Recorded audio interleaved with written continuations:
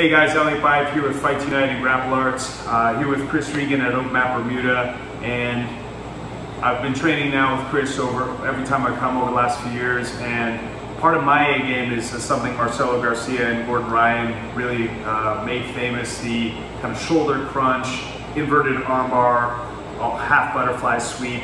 Uh, and that's that's something I've used in competition. It's something I've been using for years, and you know, close guard is one of my favorite positions. And I remember the first time I tried that on Chris, very quickly I, I came to regret it because one of the passes uh, he uses totally shuts that down and I still have yet to figure out how to stop him, but uh, I wanted him to share it with you guys so you can integrate it into your game because that shoulder crunch, uh, double attack, the armbar, and the sweep are, are becoming more and more popular. And so, Chris, why don't you take us through uh, the technique breakdown for folks? Okay. So um, you want to do the demo Yep. right now? Okay. Okay. There's a few ways that, um, uh, that I like to set it up, so we won't worry too much about what we were talking about initially, the shoulder crunch and the, the um, violin armbar attack for now. We'll just get the, like, the basics of the technique. So the basics of the technique are going to be an underhook on this side and what I like to refer to as an anchor here.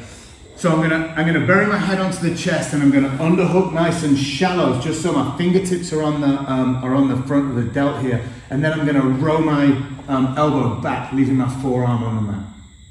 The next thing I'm gonna have to do is I'm gonna have to turn this angle here, and this can be kind of risky. Because as I turn this angle, the risk is that Elliott just follows me with his hips here. Yeah, exactly. So, the two ways I like to do this. Number one, I load myself back into my heel here. So I base up on the far foot and I load myself back into the heel. Then I'm going to launch my second elbow at the opposite ear. So as I launch my second elbow at the opposite ear and bring my head across the body, I'm going to flare right foot, left foot. I go here. Boom, elbow lands and I go right foot, left foot and land super high. I can put my knees on the ground. I don't mind putting my knees on the ground or I can sprag up on my toes.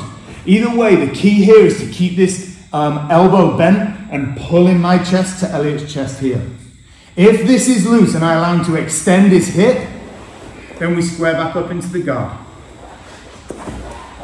So once I anchor in the, uh, on the shoulder, I'm pulling myself to Elliott and I don't let that, that connection break. I'm not going to try and place myself on the top of the hamstring. I'm going to try and place myself right behind the knee, slightly towards the calf. So I load myself back into my heel and I post my right foot here. I've got to be careful with the underhook here, but I can square him off at this. Then I'm going to launch the elbow to the opposite side, flare right foot, left foot, land nice wide base, and I try and dump his knee up his nose. So currently, Elliott's knee is on the right hand side of his head, opposite to my underhook. I might be able to start to force the feet open at this position, but if I take the ear and stuff the head to the far side and lift the belly and push the, push the knee onto this side of the head, it makes it much more uncomfortable. So I squash position here. I wait for him to try and extend, trying to trying to send me this way, trying to sweep the pendulum style sweep here. If he opens the pendulum sweep, there's no problem. I can skip the leg over. It's kind of risky for him to do that. He'd probably keep his guard closed and just try and open his hips. But as he tries to open his hips, I can just anchor him in here and keep my base nice and low. So I lift my belly, I push the head underneath, and I dump the knee to the opposite side, as I like to call it, the uncomfortable side. And I dump him back down. Now this becomes academic. I'm going to go to the foot here and start to split the position. I don't push this foot all the way down. I just control, throw the leg high, step over, and sit back to an underhook and head control half guard where I'm already past the knee shield. Push over. Yes, sir. So first things first, I'm going to bury my head and underhook the shoulder. Then I'm going to load back into my heels. And I'm going to, I'm, I'm going to sort of plant this foot so it's nice and strong. I'm going to vault forwards here, but I'm not just going to vault forwards. I'm going to vault forwards and change my angle so that I'm perpendicular to Elliott, so that I'm lying straight across his head, controlling this leg with my belly. So as I vault forward and drive my elbow to the mat here for balance, I bring my hips with a right leg flat. Right leg, left leg here. Boom. Heavy pressure here, then I lift and stuff the head to the uncomfortable side and drop it back down. Now I control the foot. If the feet are still crossed here, no problem, because it's not very, uh, it's difficult for Elliott to keep that closed. So if the feet are still crossed here, I'm just going to pop inside here and split that. Hang to the sole of the foot and just control. I'm not going to try and make the toes touch the mat. It's difficult. It might make you move too much. Then I swing the leg, bang over the top, and walk my hips back. It's so uncomfortable, and it really, you know, uh, when people try to compress you in your guard, opening your hips is generally very effective. But once that elbow is over the top, and particularly, you show it again, the, the way your hips or your stomach rides so high to the calf, I find just really kills my, the power of my hips. Yeah, if I stay if I stay on the hamstring, then the, the pendulum kind of kickoff becomes much more. You might not sweep me, but being able to pendulum me back to this position, yeah, becomes more uh, realistic. Yeah. If I just send myself a little bit higher than your head, so I'm more on the calf, behind the knee, but more on the calf than on the hamstring, that becomes really difficult. Even though I'm further down your lever because you're so much weaker down there. Eh? So as I launch here, boom, I flat and I try and, like my right hip is low down. I'm almost on the ankle. Uh, sorry, my left hip is low down. It's almost on the ankle here. Now I can stay spragged here, but sometimes I like to really squeeze tight and pinch my knees into the person here. And you can see the guard's already opening, so this is easy. That's an easy step over. If the, if the guard opens just from just from the compression, the guard pops, no problem. I'm not, I'm not even gonna um, I'm not even gonna mess about. I'm just gonna step straight over. Yeah, I, for me, like I want to open my guard just to relieve the pressure, and I'm Yeah. relatively flexible. If someone isn't, I can see it totally opening. So this is what what I like about the way you're showing it is part. Many of our many closed guard players, our A game is to get a, a whizzer or an overhook, I want you. I want it. and you're you're using this here. So how would you hmm. adjust this if I'm attacking more of an inverted armbar? Because the position would be different. So you're attacking on this shoulder, Sure. this shoulder crunch position here. So rather than throwing the elbow over the top of the head here, because Elliott's concentrating on attacking this like what I call a, a violin or this shoulder crunch position, right? Yeah, exactly. So I can use the same uh, the same um, hip and foot movement, but it's harder now for me to retract, right? Because he's kind of controlling me here. Yeah, exactly. So it's hard for me to retract my hips because I kind of drag him with me.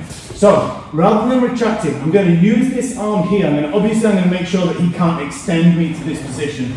Yeah, exactly. So I'm going to kind of cut around the back of the head and I'm going to cut the shoulder in exactly the same anchor position. I've got to be super careful that Elliott doesn't dig this elbow inside here, yeah, or even swim it all the way underneath and bring it across because now my, my game, that, that pass is dead. I'm going to get armbarred as I go past. So I'm going to underhook on the, um, uh, on the far side and I'm going to cut the shoulder with my anchor exactly the same. Now, instead of flaring, what I can do is I can rise my hips, I can pike, like Elliott says, pike my hips up, and I kind of block the right hip with my right knee. So I pike and I go like this, and I block the wall here. And now, rather than flaring across, I can get that sort of walk around. Now, this shoulder crunch position is probably no, it's actually no good keeping hold of it for you. And it's super easy for me to wind this out and I can fight the head back into weak position underneath the knee. So it's, it's, the, it's exactly the same movement. It's a little less, it's a little more, um, it's a little more calculated, a little slower, slower mm. progression because walking this, this right knee, the movement is such that I sort of rise the hips here and then I walk across and block and stop you mm. from following mm. and then I walk and walk and walk. So we end up in the same position, right? But I end up with a head control and an underhook. I'm still going to fight to get my ear across. I, what I don't want what I don't want is to end up here, walking my hips across this way, and then trying to reach back for this here because my arm's back in jeopardy again. Mm-hmm. Make sense? Mm-hmm. So I'm going to come this way, boom, kill everything he's got. Maybe I'll fight the grips that he's got, but here, I can split these hands now pretty mm-hmm. readily. Push and step, and then retreat a little into the half guard.